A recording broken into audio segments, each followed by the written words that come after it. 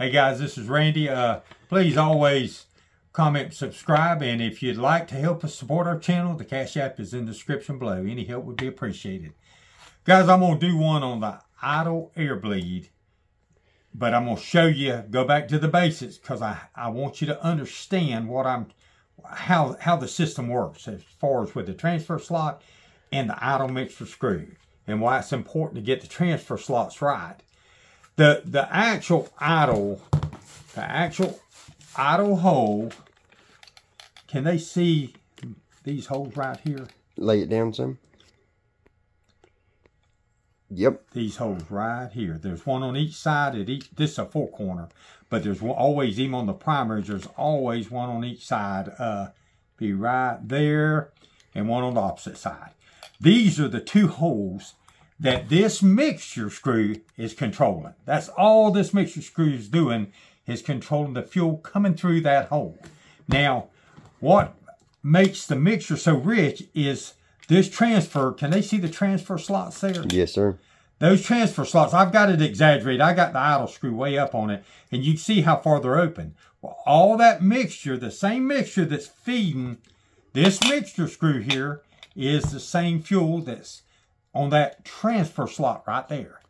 It, it feed, feeds both of them. It feeds the idle mixture hole right there, and it feeds the transfer slot. So what we want to do, if we don't get the transfer slot closed up, we don't really have no fuel control with these screws like we should. The more we have that closed up, the more easier it is to adjust the mixture screw and bring it out further because we can open up the air bleed little and not, not affect the transfer slot bad. You, when you've got a lot of fuel dumping there and then you open the transfer slot, you just done use the fuel up before you ever really need it. You're using excessive fuel at, at idle. So what we want to do, we, we know we got to turn that mixture screw in. We don't want to stick the throttle plates on our race car or nothing, but you want to get them. Let me look, guys. I'm going to take off the camera a minute, but I want to get it down there to no more than about there. No more than that. I'd like to see it almost square. Yep. If you can. Uh, in fact, I've got, I have modified these and actually took the transfer slot all the way where it's closed up with the primary throttle plates. And I, I that'd be another video. And it works great. And it that means you got about 99% of the fuel control right here on these two mixture screws on your meter block. So when we do that, then we can actually set the air bleed the way we need it. It makes everything come together and give you a good clean idle and a good crisp throttle control. But when we start cutting back on the idle fuel restrictors in the metering block, which is this little gold restrictor here, some of them have them up here on the high performance models. When you start cutting that down, you're, you're also cutting down the fuel to the actual transfer slot. For the in other words, you're you're you're you can lean down the idle mixture, but then you lean down the transfer slot too. So that ain't the way to go about it. We need to stay around a 35 most of the time. 30, sometimes I'll run 37, 38 according what type of air bleed, how much air bleed I use.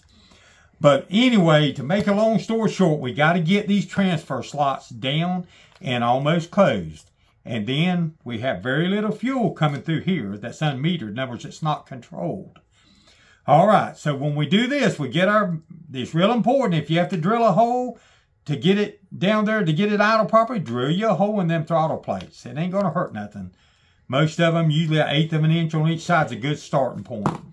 All right, sometimes you can go less than that, but on the average, if I said eighth of an inch, some of them I've drilled as far, almost 3 sixteenths of an inch. So it just matters how much air you need to bypass, how big the cam is, because as we put more cam in the motor, it actually decreases the vacuum, which slows the airflow past these throttle plates. So we're drilling a hole in here to let air, just like treating a vacuum leak. It's a controlled vacuum leak. And that, that lets us bring the screw down because it's trying to idle up because of the vacuum leak. So we're bringing the idle mixture screw down. In turn, in turn, we're closing these slots up, these transfer slots, where, where we know we're getting most of our fuel adjustment then through these two holes right here. Here's the transfer slot coming down. Now it feeds the transfer slot out of here and then it jumps across with this mixture screw. And when we get the transfer slots closed up here, then most of our mixture screw is right here is all the adjustment. It's, it's going to have a lot more adjustment. The, the, the further open the transfer slots are, the less your mixture screw is going to have effect on the idle. And it'll usually be way too fat. All right, so if we get this correct, then our transfer slot shut, it. then we're going to come up here where this meets the main body, right here. Let me get the little pointer. There, these two outside ones are the idle air bleeds. Now, I've already put these little screw-in bleeds in here. I hadn't done the high speeds, but on this particular one, I've done all four the idle bleeds.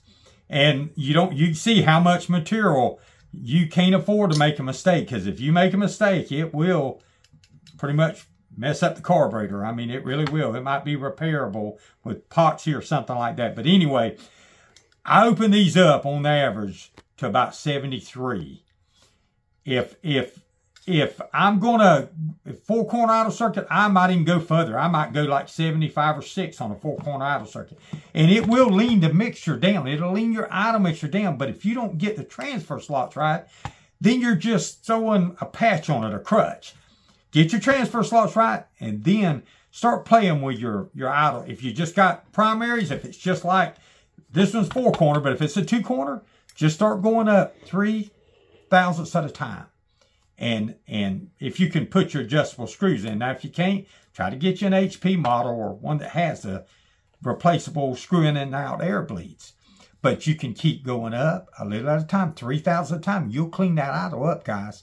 And you'll see when you get everything right, the slots, the air bleeds right, that thing will idle and it'll clean and you'll be you'll be happy with it. And it'll have a good crisp throttle too, response. All right, guys. This is Randy. Uh, we're gonna have another video for you soon. We're gonna try to start doing them more regular. We've been had problems, health problems, and I'm just now getting back, but we'll do our best. All right, guys. Have a good afternoon. Talk to you later.